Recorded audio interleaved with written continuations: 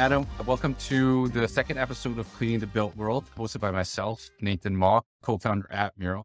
Adam, it's been a pleasure getting to know you over the past few years. You know, we first connected, I think, many years ago, but we've more recently gotten back in touch. It's, it's been new role at Rogers. Adam, if you don't mind, tell the audience a little bit about your role, the company that you work for, and uh, what brings you here today. Yeah. So great to see you again as well, Nathan. So currently I operate as the senior manager for IoT at Rogers Communications. And I would say, you know, day by day, week by week, the role changes and augments a little bit, but I'd love to think of myself as the one that's sort of responsible for the sales, sales strategy. I work collaboratively with our marketing team, with our product team, with our sales enablement team, because it's really about you know, first architecting a vision for what IoT could be and what it means to Rogers, and then implementing that vision through a variety of different sort of means. Yeah, I mentioned, you know, because we had been in touch a few years ago, even I think maybe back to 2019 now, mm-hmm. you know, you've been really in the space for, for some time and fast forward to 2022 and the industry has, has, moved quite a long way from our perspective as a vendor in this industry. From your side on the tele- telco side, where have you seen IoT develop? Like, where have the biggest developments been in the mm. space, you know, just over the past few years? Yeah, I think there's a couple of different areas in which I've seen it sort of evolve and change. I think from a telco spec perspective, just generally speaking, at one point, probably eight, nine years ago, we viewed IoT more as a connectivity play, that we would provide sort of the underlying technology that would power IoT solutions. But I don't necessarily believe that we saw ourselves as the enabler of specific business outcomes through the adoption, creation, deployment of different solutions. Over time, I think we've come to understand that there are very few industries, I would say, that are as well positioned as telco is to deliver on some of those specific outcomes just because of the assets that we have as an organization. I mean, we've certainly learned a great deal, like as we've gone through that process in terms of where we can add the most value to our clients, where we should be competing. And, and I would say probably most importantly, where we should not, where it makes sense to partner with organizations that are the leaders in their respective field, like Mero, to deliver some of those end outcomes for our clients. Got it. And I think that's a really good insight because, like you said, the the resources and the assets that, that come from the telcos, that is something that I think for the, the potential customers of, you know, say for us building managers and building owners, they will re- definitely resonate with a with a brand like Rogers and uh, you know brands like like the others that you've worked in the past. Mm-hmm. And I think a lot of times when we talk to some of our potential customers, it's really their first interaction with potential IoT systems know, a lot of times we are the first technology, first smart building technology in any of these buildings. And as a result, we're bringing in, you know, an IoT network. We're, we're standing that up and managing that network ourselves as a service. Can you talk a little bit about, you know, that first step for say your clients or, you know, potential owners of buildings and what it really takes for them to get, say, get from day zero to day one really implementing that from the ground level? Uh, what are some of the key challenges that some of your clients have had to face? Well, I'd say it varies somewhat across industry, but the most effective deployments that I've seen, regardless of the technology or the end solution that we landed on, was first understanding the problem that you're looking to solve. And is that, in fact, the problem that you're looking to solve? Like we find that across our customers, as they're going through digital transformation, I think initially there was a perspective that, you know, you could just in, ingest or procure a number of different technologies and that fundamentally helped you to be or enable like a digital transformation. And that's not necessarily the case. I think it's different, you know, not just at a vertical level, but certainly from a customer level. Like what is it fundamentally that you're hoping to achieve? So when we're engaging with our clients, we typically focus on sort of four key areas that we believe that all strategies are aligned to. So we focus primarily on customer experience. So how do you leverage technology in a way that delivers an exceptional customer experience? And can you use that? And how do you use that as a differentiator within your market? I would say secondarily to that is probably around the area of operational efficiency.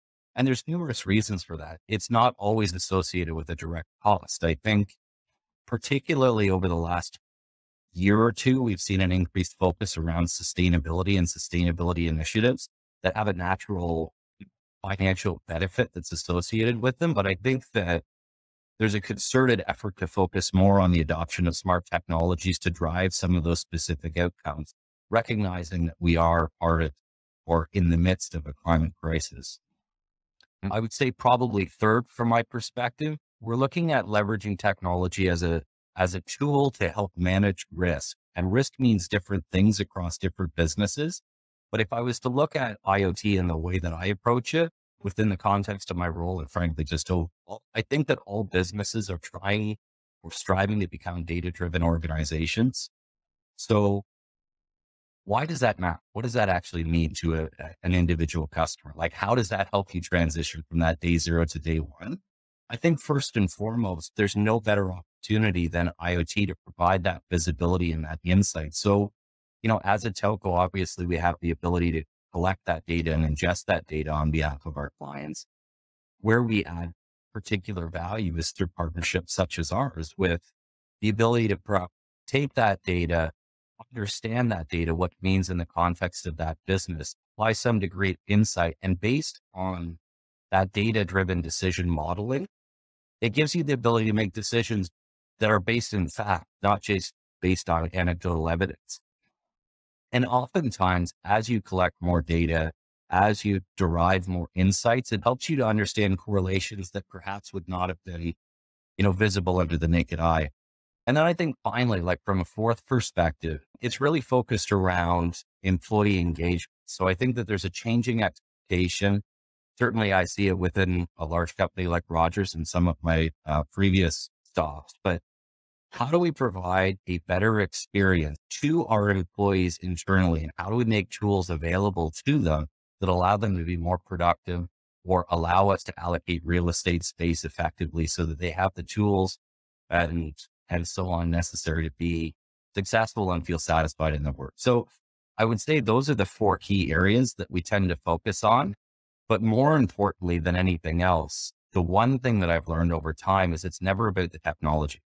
It's never about the individual solution because that's a dangerous road to go down. There are, I equate it to, there are multiple doors into the same room. There's a lot of different ways that we can solve a particular problem with different sort of technology or, or what have you. But first, it's it's of key importance to focus on what is the problem that we're actually looking to solve? What is the outcome that we're hoping to drive?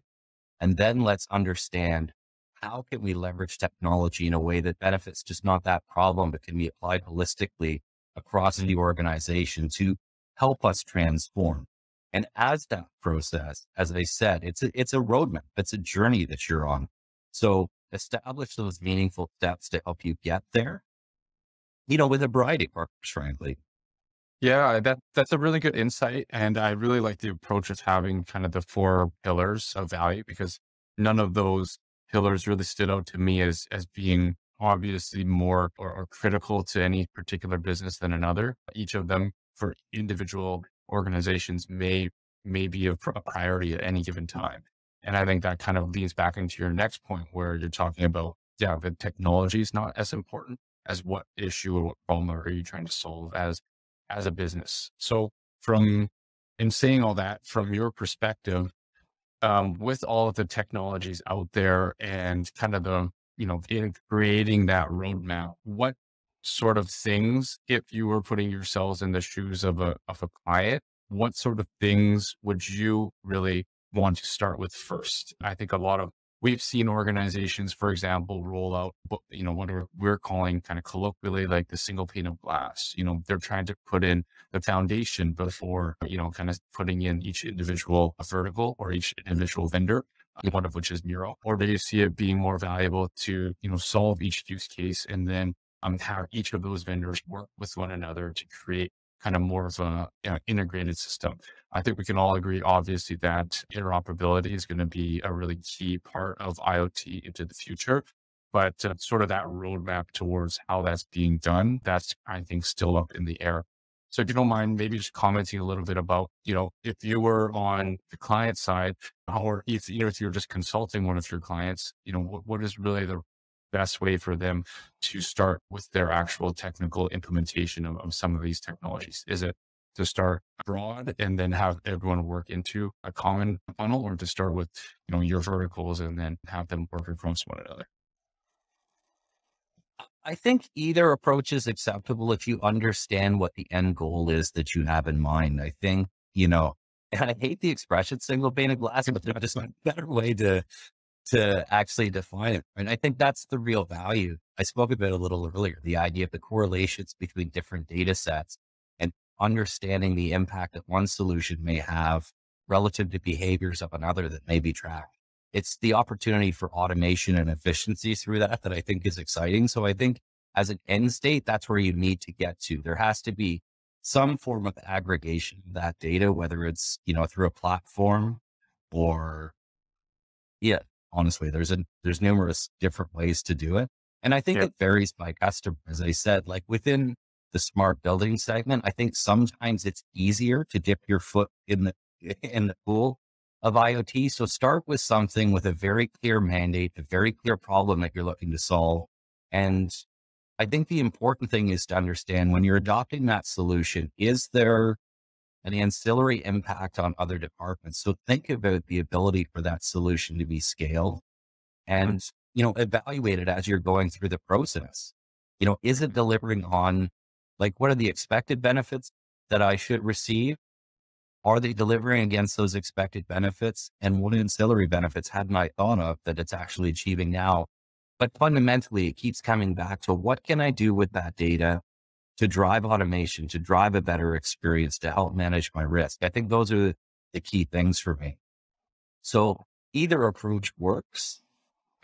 And I think it depends on the complexity of the business as well, right? Like when you talk about a grand vision for transformation, it's not something that happens in three months, six months, one year.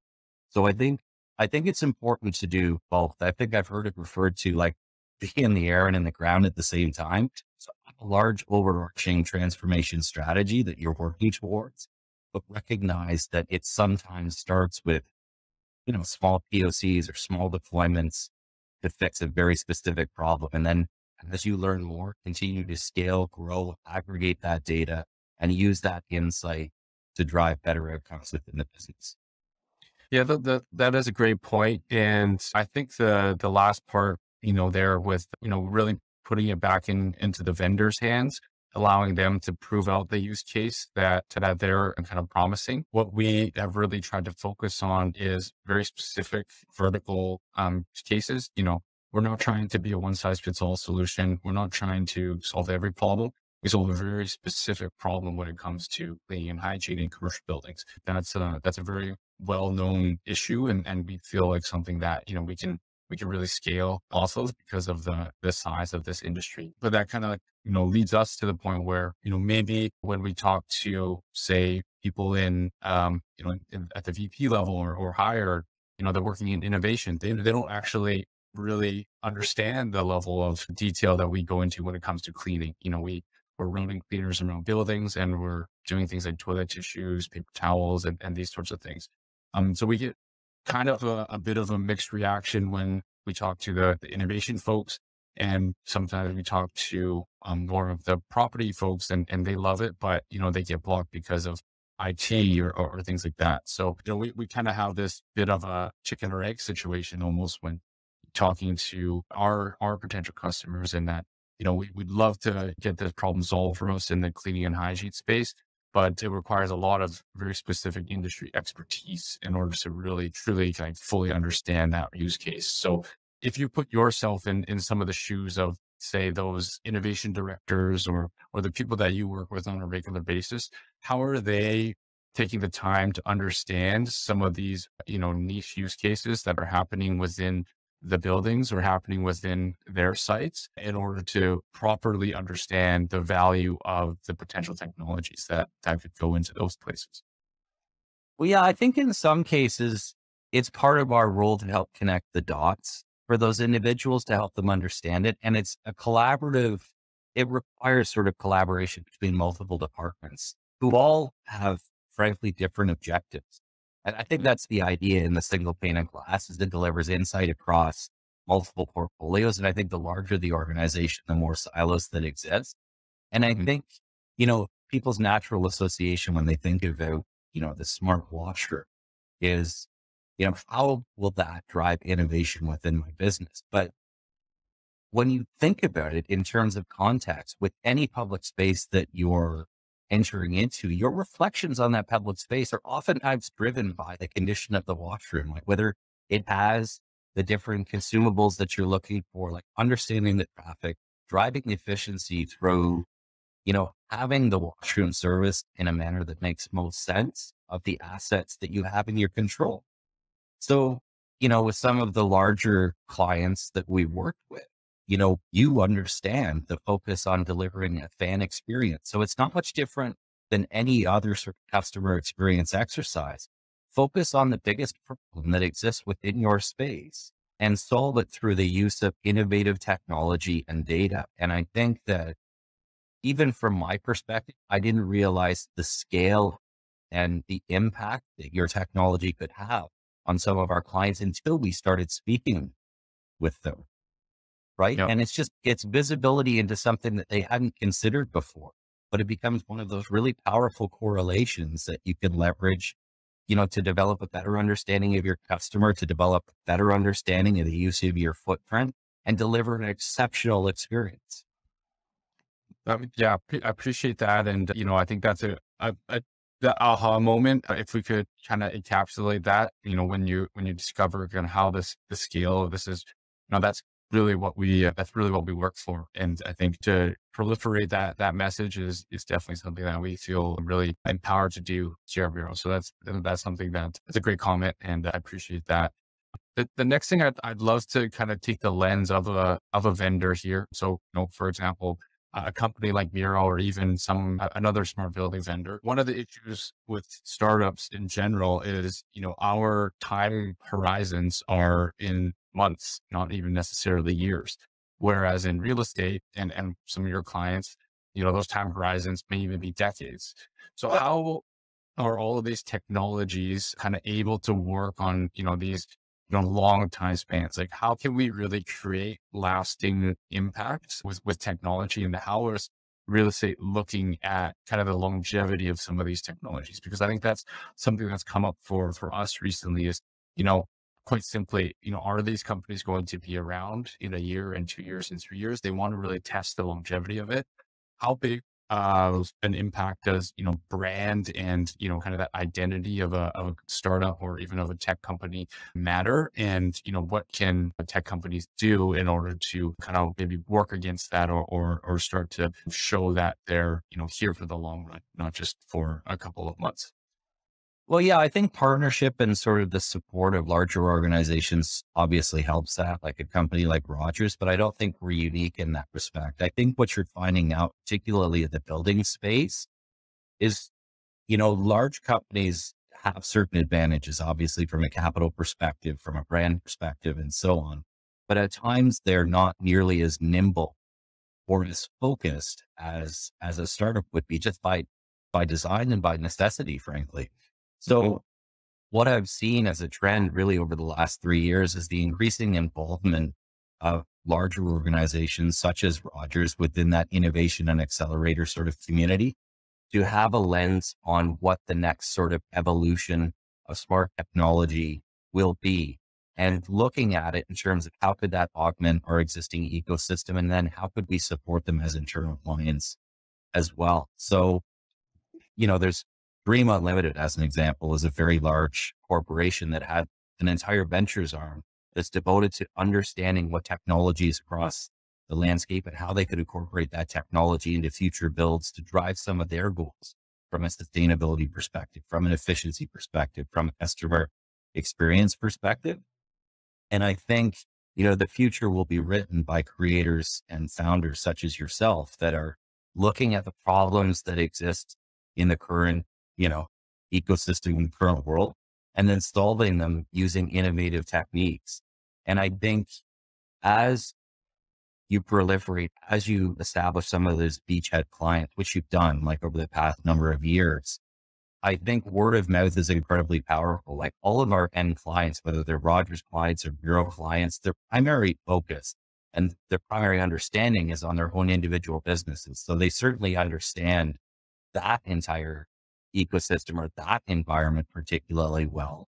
And they look for thought leadership from individuals such as ourselves that can provide them some insight on the technology itself and where does this fit in within my plan? I think frankly, like where we fall down at times is once again by focusing on the technology and not aligning it to the specific goals and outcomes that our customers are looking for. That's a, that's a great insight. And I think, and truly understated the, the value that, you know, say like a, a independent third party like Rogers with a really very reputable brand, but also just, you know, very well networked individuals that are part of the team there. I think that's that's something that a lot of, you know, say people on the fence would be well suited to to consult and to talk to. I think the the one thing that we can probably both agree on is, you know, I think the the worst thing that our mutual clients can really do right now is is be inactive. You know, I think there there's rarely been situations or instances in, you know, the macro environment where, you know, there's been a, such a huge shift as what happened in 2020. But I think now, you know, we've seen it in other industries, how technology is has become such a force in creating value, but also just making an impact on our lives. Where, you know, I think looking to 2022 and beyond, we really can't see a future without this technology being being commonplace and, and being something that is just impacting all of our lives. Whether or not that's five years, two years, even or longer, I think the eventual inevitability of it is is really going to be there in the in the long run. And you know, for us, we we, we hope to be a part of that future. Um, absolutely. Yeah, I think it's I think it's awful. Obviously, you know what we had to go through from a pandemic, but I think it also increased the urgency and acceleration of most organizations' digital transformation plans. Because in an instant, you had to think about, you know, remote collaboration. In an instant, you had to think about, you know, proper sanitizing and hygiene and how you effectively manage those buildings or having your existing business model completely disrupted. Like particularly within the sort of smaller mid market, low end of the commercial space, there were tons of organizations that were looking at, you know, providing e-commerce type services or an omni-channel experience that you allowed customers to do business with them wherever they were at whatever time they wanted to engage. But I think, you know, when the option for that sort of brick and mortar experience didn't exist, it put a lot of businesses in a very tough spot. So I think there were valuable lessons that were learned, you know, from all organizations ranging from, you know, the, the startup with one or two employees right up to a company like Rogers. Yep. Yeah, and and what we learned during that time is, you know, we, we learned really the the I think adaptability of certain organizations. You know, we can think of one of our big now large customers where, you know, they started with a very core use case with, you know, this low occupancy in in their buildings and that, you know, they were using our devices, our sensors in order to monitor the occupancy to to both, you know, kind of reduce some of their upfront costs, but also longer terms for things like leasing and, and assets and whatnot. So I think that that's one example of, you know, how an organization was able to use a, you know, fairly un, um, unprecedented circumstance kind of for, for the better. And now they kind of built that muscle for the long term to know how to implement data, know how to use information that, you know, they might not have even looked for before. So for lack of anything else, this big shock to the system, you could say has, you know, created a, a sort of a new way of, of doing things that at least, you know, we're, we're at least putting some more attention into some of these new practices. So I think that's, that's, that's really, really great. I guess my question to you would be, you know, what, what examples have you seen out there of, of some of your customers or some of your clients being very adaptable or, or, you know, whether it was in 2020 or, or any other times and you know, kind of any unique implementations of of technology that you feel is something that was worth sharing? Wow, there, there's there's so many that come to mind immediately. Like when you were talking about the occupancy sensors and like ultimately using the technology as a as a different in a different way than initially intended. I mean, that's striking for me because I think of the insight that can be gathered. That if you're a developer, if you're a builder, if you're someone with an, an existing network of properties, and in many cases, the amenities can be a differentiator, a specific part of the value prop that's associated with them. Some of the clients that we work with have premier properties with things like home theaters and golf simulators and, you know, exceptional commons and so on. So understanding the utilization of spaces like that to help inform future decision making, I think can be a really powerful tool from a, from a transformation perspective. Some of the, I, as I said, I believe we're at the inflection point when businesses are understanding the need and being data driven, but I think for many, they don't know exactly what that means and exactly what they're going to do with the data and how they're going to lead it and so on. But I've seen some really innovative use of, you know, aggregation platforms that are ingesting virtual, like virtually unlimited data sets, providing some correlations between delivering workflows specifically that are tied to those correlations and then using digital twin technology mm-hmm. as a means to like sort of run those simulations, run them some of those different variables to understand different outcomes that would be delivered based on, you know, the different parameters that you put into place. So I've seen it happening across construction, specifically in that space, like an industry that has been typically slow to innovate, slower certainly than some others. I would say construction is on the forefront of digital transformation at this point and innovation specifically because the opportunity is greater there as opposed to anywhere else. I think from a building perspective and from our perspective, the use, like the increasing use of digital concierges to unlock and provide like an exceptional type of tenant experience has been, it's been really powerful to see. I mean, I think at one point we thought of amenities just as, you know, nice to have mm-hmm. across the different buildings, but you know, solutions like yours and like some of the others within our ecosystem are now giving a degree of insight uh, around like the utilization of those different, those different sort of amenities that we talked about and providing insight on the utilization of the building themselves. I think it's, it's really about building that database of data and using that as a tool to inform future decision making. Right. Yeah. And I think uh, just to touch on, on the first point, yeah, I feel like knowing that if, if you're a sports fan, there's, for example, teams that will use analytics and they'll use data to influence their decisions. But there's always that component, I, I suppose, of, you know, say the traditional method of, you know, say if, if you're evaluating talent or evaluating players, you know, the eye test versus analytics, how much you value each of those is kind of up to the individual organization.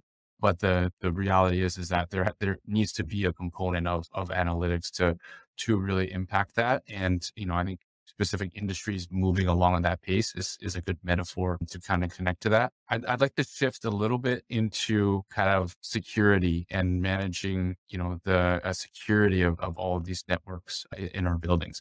I'm sure this is a topic that comes up for you quite frequently, quite often. As it should, I add, yeah. yeah. So yeah, I'd love to open up, you know, kind of that, that topic to you. What are some of the most important things to consider when it comes to security and privacy, you know, when implementing some of the, these IoT systems? I think from from strictly a connectivity period, I mean, the technology itself that can ensure privacy and ensure the integrity of your connections, some of it has existed forever, but I think it was viewed at one point in time as a, as a nice to have, not necessarily a need to have. So as more devices come on the network and various different endpoints in the absence of any sort of form of management, it exposes vulnerability. So I'll use the example like of a private APN. So for those that aren't sort of familiar with network technology, I will keep it as simple as possible. And not only because I don't understand it that deeply, but I understand enough to be to, enough to be dangerous. But I'll use the example of an endpoint. So any of these smart technologies oftentimes will use a modem of some type a controller that will then communicate to the cloud to either provide a dashboard, provide insight or trigger actions and so on. So at one point in time, like particularly as modems or hardware devices are out in field, in the absence of active patching, which does not happen all the time, or new vulnerabilities that are uncovered, there's risk in those connections, those network connections and being compromised. And I think the result of that can be catastrophic, whether it's a, a DDoS or distributed denial of service attack, or whether it's used to compromise, like it's used as a gateway into the network itself with obviously catastrophic results.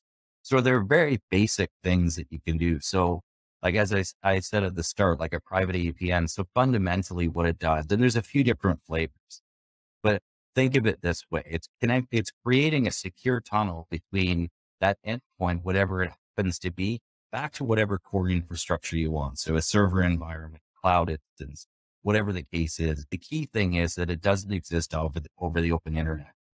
So 10 years ago, when people were deploying sort of connected devices, it, it was predominantly the go-to mark way that most people did it was using like a public static IP address. And there's, there's obviously danger in that. So if it's sitting within a public network, then it's visible for anyone to see. At least in a dynamic environment, it's changing all the time. But if it doesn't move, then that's what introduces risk. And the easiest way that I could explain it to a potential customer, frankly, I use this analogy from time to time. Think about driving through an individual neighborhood and it's full of detached homes. And as you're driving through, that's your public network. You're on a public road and you can see all of the addresses and you can see the front door. And let's just assume they're unlocked because that's functionally what you're doing with a public static IP connection and someone can walk in. So utilizing something like Control Center, obviously it's private IP that's primarily deployed across there. And the difference between that would be to think for some of your building clients in terms of like a condo development that they're doing. So you may understand the general address where they're trying to go, but you don't necessarily understand the suite that they're trying to get. So if someone can't find you, they can't compromise you. So that's the initial benefit of private IP. When you add in an additional layer of security, like a private APN, as an example, and facilitate that direct connection, it can't be found. And if it can't be found, it can't be compromised. It never travels over the open internet. It's a direct connection between that endpoint device and, as I said, whatever core infrastructure you want it to be. So I think that for anyone deploying an IoT solution, it's part of, it should be part of their due diligence process to understand privacy and how those secure connections are being made. Obviously, you know, we have a very rigorous process at Rogers from a security and privacy perspective that we evaluate all of our potential partners against before deploying them as full solutions. It's very intensive because of that, because of the impact that it could have on our customers. And, you know, obviously because of, our brand as well, we have the tools and technology available to secure those connections. So, you know, to our partners, we can provide that guidance and that leadership. And for anyone within the community looking to build their own solution, I think it's important that it become you know, part of their posture as well. So speak to qualified individuals within this space that can help you with that. That would be. Yeah. And I, I think that, that I think that really sound like even interesting because I feel yeah, like- no, I think, I think you, you hit the nail on the head. I mean, I think, you know, having that level of sort of understanding and, and sort of, you know, intent over such a critical area of, you know, what impacts us all, you know, un, uncovering, I guess, the black box of, of, security for a lot of folks, I think is, is really, really important because, you know, it's like, like you said, it's, it's something that everyone needs to be aware of, but I think not a lot of people are. And I think, you know, your, your explanation of it really just highlighted something for me, which is that for those that again are, are kind of looking to get started on, on an IoT journey and really get, get implemented, there's no real better place to go than to their trusted kind of vendors and, and, you know, kind of the, the most trusted kind of brands like Rogers. So, you know, I think that, that really summarizes things very, very succinctly in that, you know, I think using and really leaning on Rogers and leaning on some of these other very um, well-versed, kind of call them you know, third parties or consultants on getting started with different vendors, I think is, is really the first step towards getting started into this industry and, uh, you know, kind of realizing some of the benefits and the value. With that, Adam, you've been really generous with your time. I'll give you one uh, kind of last chance. If there's any sort of last comments or closing questions or things you'd like to mention, please feel free. Yeah, no, it, has been a pleasure. I honest, I appreciate the opportunity to speak with you today and to speak to your audience around sort of this this industry and what's happening. I think it it's constantly evolving. So as much as I may be perceived as an expert in this space, having spent a significant amount of time, I can assure you that I learn something new virtually every day. You know, through leaders such as yourself, through other thought leaders in this space. So I would say if I have any advice for end clients is be open and understanding, like first articulate what your goal is, what it is that you're hoping to achieve and be as upfront and open as possible with potential vendors that you're talking to to help them understand your goals. Like look for partners, look for people that deliver value and provide some, some degree of leadership in that space. But as I said, be open with what it is that you're hoping to achieve. And I think by doing that, you'll quickly understand who are the right partners to work with to help you achieve your vision. Typically by the time that it gets to IT. So yeah, this is really directed at senior leaders within the business. By the time it gets to IT in many cases, then you've already predefined, you know, the solution that you want to put in place because you believe it may be the, the best, the best way to sort it. So engage early in the process with some of those trusted vendors to understand, you know, what's possible. That's that's awesome. Yeah, Adam. Again, thank you so much for your time. We we appreciate you sharing your story, your your expertise, and some of your background, Rogers, and giving some of that advice to to any potential clients. So yeah, we appreciate everyone. Thank you for listening, and we'll talk to you next time.